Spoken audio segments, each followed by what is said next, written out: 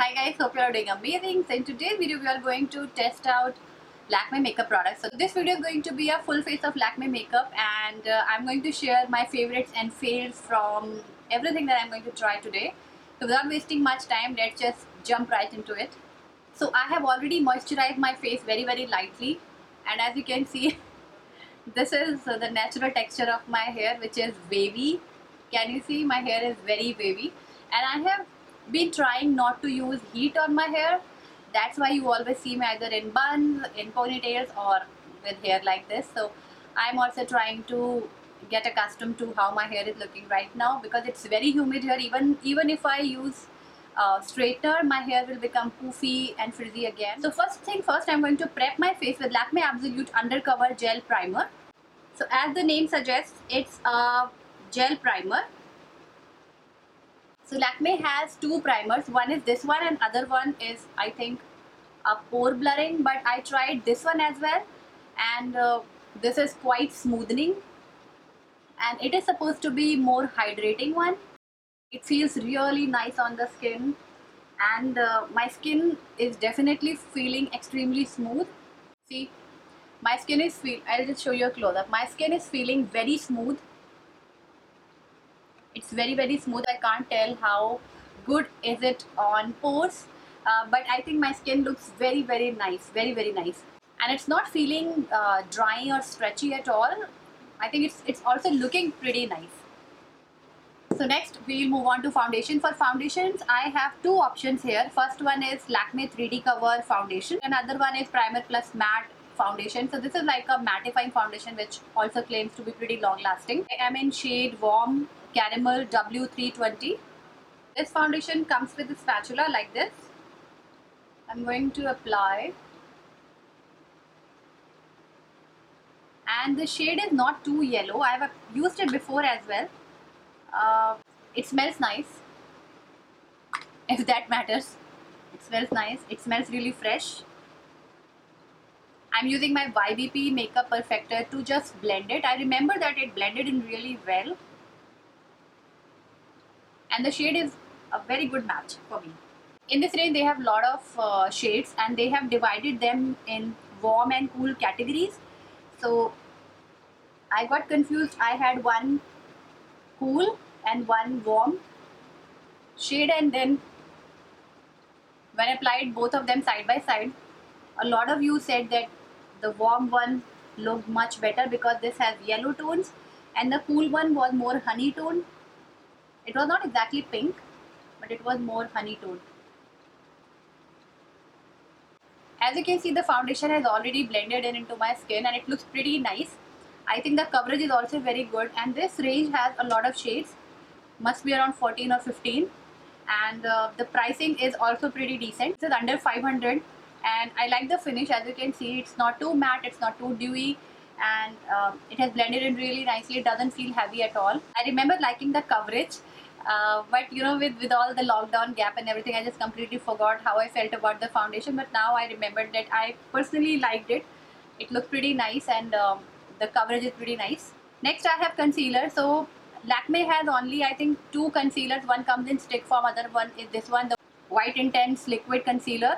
And I picked it in the shade number 4 beige honey which still looks very very light. I'm going to use it very sparingly because I don't really like ashy under eye area. That's why I've already applied foundation so that uh, it can cover the darkness and then I'll go over with this one to just highlight the area. I personally like the formula of this uh, concealer. I wish they had more shades. So this formula is very light and it blends in really quickly. It's not too creamy or greasy uh, but if you are NC 37 35 uh, this is going to work for you or if you're looking for a brightening concealer. Otherwise this is a pretty light concealer for me. But right now after blending and everything it's looking pretty okay. What I'll do I'll apply a little bit of powder on top of it and it will cover the the lightness. It's not looking gray but uh, I would like it to look a bit darker than how it's looking right now Next is the powder which is Lakme Primer Plus Matte Powder Foundation in the shade Honeydew. As you can see this is a brand new pan. I've just bought a new pan. I really really love this powder. my skin is dry but it works really well on my dry skin as well it doesn't make it cakey doesn't look powdery and i really like the tone of the uh, powder it's not too yellow it's not too neutral it has just the right amount of beigey yellow tone so it is a sheer powder but i personally really enjoy using it on everyday basis so i'm using it first of all around the eyes. Now can you see the difference? This one looks nice and not gray. And this one looks slightly uh, light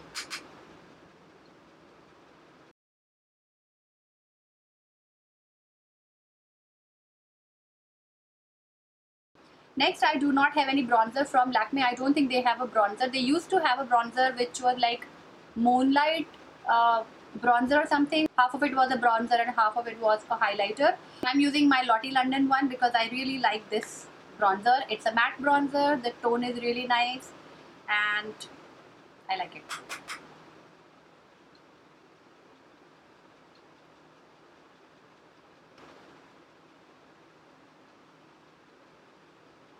Next I'm going to apply Lakme 9 to 5 Pure Rouge Blush in the shade Coral Punch. Color looks pretty bright here but it looks very nice on the cheeks. The trick is to tap into the pan and tap the brush on the back of your hand so that you do not end up with too much color on your cheek and then blend it in. It is a very beautiful shade. If you apply it with a very light hand it looks pretty nice. And always be very light handed while applying blush so that it looks pretty nicely diffused. So this is a matte blush and the formula is uh, not too pigmented. Like it is pretty bright. Uh, is the swatch. It is pretty bright. But once you blend it in, it looks pretty nice. And right now it might look like I have a lot on. But uh, give it 5 to 6 minutes and it will oxidize and fade a little. Now next I'm going to do my brows. And for brows, I have Lakme Absolute Precision Eyebrow Artist. And this is in the shade dark brown. So this brow pencil comes for rupees uh, 600 and doesn't have a spoolie which is very unfortunate because at this price I would really like my eyebrow pencils to have a spoolie brush.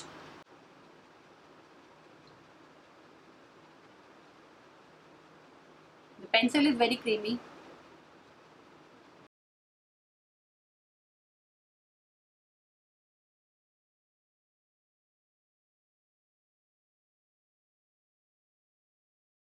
I won't say I didn't like the the color of the brow pencil. It's very nice. However, it is a bit too creamy for my liking. I have sparse brows and if I apply an extremely creamy eyebrow pencil, it ends up looking uh, round like brows, you know, the stage brows, which I don't like because it reminds me of my dandiya performances when I was back in school. They used to do all that cake makeup and uh, draw your brows very, very boldly and you know do a lot of makeup on your face. If you to look like a clown. I used to look like a clown but yeah that's how it was done. So very strong brows remind me of my Dandia makeup. So uh, i'm going to do the other brow and come back. So now that the base is done i think i should quickly move on to the eye makeup. I have two palettes from lakme and both the palettes are from lakme absolute 3d collection. So i have already used the midnight magic and i also have soft nudes this is Midnight Magic. Very beautiful uh, purple tone colors here, pink and purples. And this is soft nudes. So soft nudes look pretty bland in front of uh, Midnight one because I personally really like vibrant colors. So the colors here are pretty light for my uh, my skin tone so these colors won't show up. So I'm going to take a transition shade from this palette. I'm going to use this color from here. Color payoff is nice uh, these are matte colors but they show up really nicely on your eyes and blending is also pretty nice and easy. I think the transition is done. Now I'm going to take the soft nudes palette and this color from here and I'm going to apply this on the outer corner. Mm. The brush I'm using is from PAC. This is PAC 204. I'm going to link this one as well because I receive a lot of questions. Whenever I do eye makeup, a lot of you guys ask what eye makeup brush I used. And this is my favorite brush for blending the crease and putting color on the outer V. And you can see the color payoff is really beautiful. And I do not see any fallout here, which makes it pretty nice because with the matte shades you generally struggle with fallouts and all. It applies and blends really beautifully. Now I'm going to take a large fluffy brush. This is PAC 393. It's a bit too large and fluffy for my eyes. Uh, but I'm going to use it to blend the two colors in the crease. Like so. I think the colors look pretty nice and blended. I do not need any more color on my uh, outer V and crease right now. I personally think this one looks uh, this one looks pretty gorgeous. I'm going to use this all over my eyelids. For the eyeshadow application, I'm using PAC 310. It's a pretty large brush. Even it's bigger than my face. I'm using this brush. And so the color is pretty subdued. It's not too blingy. It's not too metallic. But uh, it's looking very beautiful which makes it pretty suitable for any occasion now from the soft nudes palette I'm going to take this color and we'll apply this uh, into the inner corners to bring some light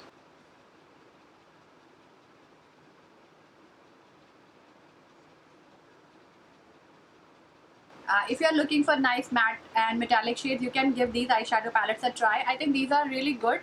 Uh, these are priced to be 9.95 and I will give them three and a half, four out of five. Pretty nice in terms of pigmentation, blendability, color payoff, and texture of the eyeshadows. Very nice. For my kajal and liner, I'm using Lakme Eyeconic Kajal in black. What? I picked it in green. How can I do this? This is a green liner. So this happens when you do not read properly before placing an order. So now I cannot apply it on my eyes. It will look really odd because I do not want, but what I can do, I can apply it on the lower lash line. But for my eyes, I'll have to pick a black eyeliner. The color is very beautiful, but it's a regal green color.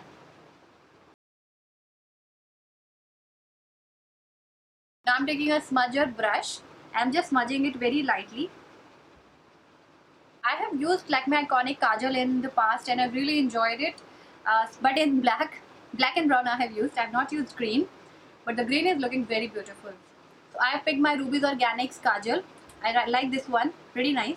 I'm going to use a little bit of it on my uh, waterline and I'll apply a little bit uh, towards the outer corners of my upper lash line and I'll smudge it out. So the eye makeup is complete. Now I'm going to curl my lashes and apply mascara. Mascara I have Lakme Eyeconic Curling Mascara. So I have used this mascara in the past as well and I personally do not enjoy it. It's such a dud product. It does not work on my lashes. My lashes are short and they are straight. So it doesn't really curl them up or add volume or anything else. It doesn't really do anything. I personally do not enjoy this mascara from Lakme but I'm going to use it because it's one brand video.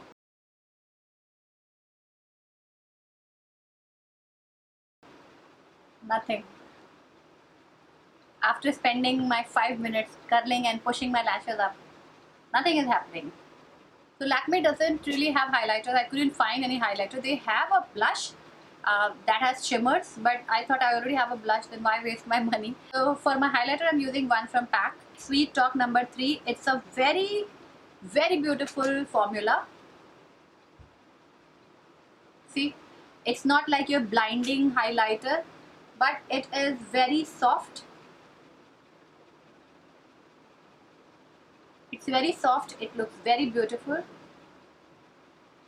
So my choice of lip color from Lakme would always be the Forever Matte Lip Colors. This range has beautiful shades. I have swatched a lot of colors from this range in one of my previous videos. I'm going to link it up. These lipsticks are pretty nice. They feel really good on the lips. And I'm using Mauve Ecstasy, which is one of my favorite shades.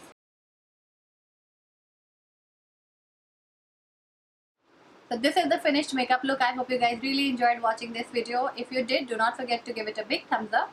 If you're watching me for the first time, please subscribe. I'm going to link all the products in the description box. Do not forget to check it out. And I'll see you very, very soon in my next video. Till then, bye.